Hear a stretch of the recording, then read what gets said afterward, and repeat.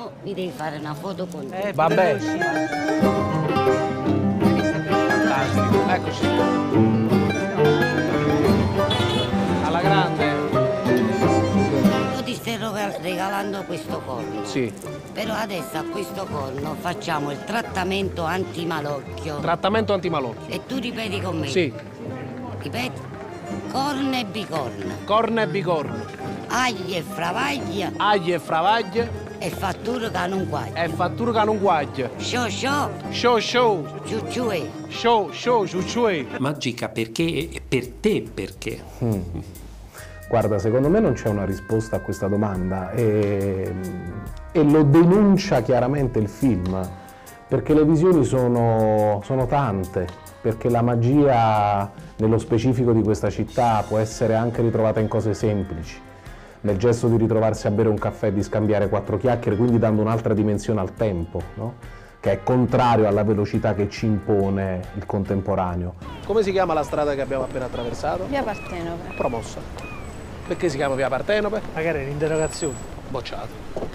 Perché pure questo è un luogo magico. Partenope. Chi era Partenope? Ah, si vede? Bravo. E tu come lo sai?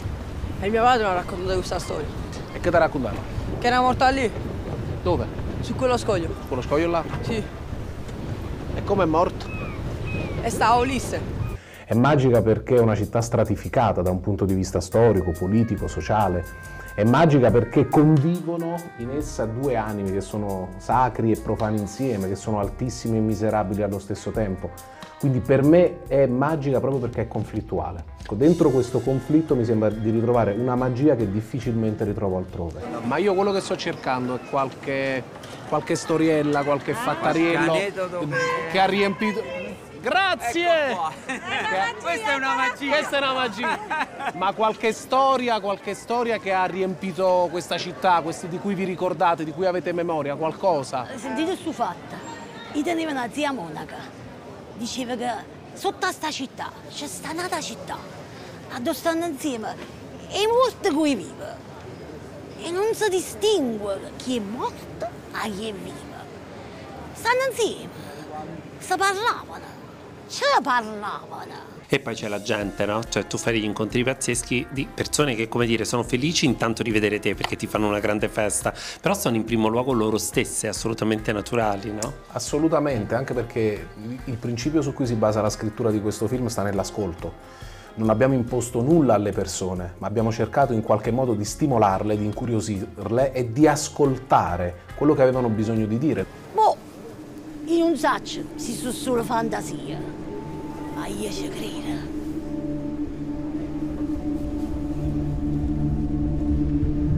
Però poi nella seconda parte tu fai un altro viaggio che mi sembra che è un viaggio forse un po' più profondo, no? Questo, chissà, magari un, po' un viaggio anche dentro di te, insomma, eh, me lo racconti. Guarda, abbiamo, abbiamo deciso di raccontare Napoli attraverso i suoi stereotipi, i suoi luoghi comuni. Uno di questi è Napoli, è un palcoscenico a cielo aperto. Quindi partendo dalla struttura del palcoscenico ci siamo immaginati che vi fosse una superficie in cui incontrare gli attori che agiscono su questa scena. Ma così come erano fatti i palcoscenici di una volta, cavi come delle casse armoniche, c'è un sotto, c'è un sottosuolo che è abitato, è abitato da voci, è abitato da presenze, è abitato da miti. E quindi questa scoperta che dici tu, che è anche molto intima, sta nella decisione di scendere lì sotto in quel buio e di far ascoltare queste voci, di farle ritornare in superficie. Come si fa a tornare indietro?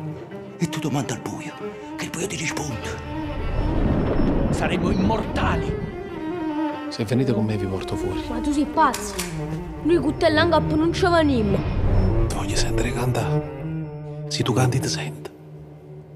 Una canzone cantavamo a due voci. C'è un luogo del cuore o chissà una situazione, un personaggio per... Guarda, sono tantissimi i luoghi del cuore, così come sono tanti i luoghi in, che- che- in cui mi sono imbattuto grazie a questo progetto. Devo dire che la Cappella del Principe di San Severo, con tutta la storia e tutti i conflitti che pone in essere e soprattutto l'esperienza di quel personaggio in questa strenua difesa della conoscenza per restituire un'eredità alla città, è una cosa che mi ha toccato profondamente. Partenopei! Noi siamo partenopei! Siamo How are you?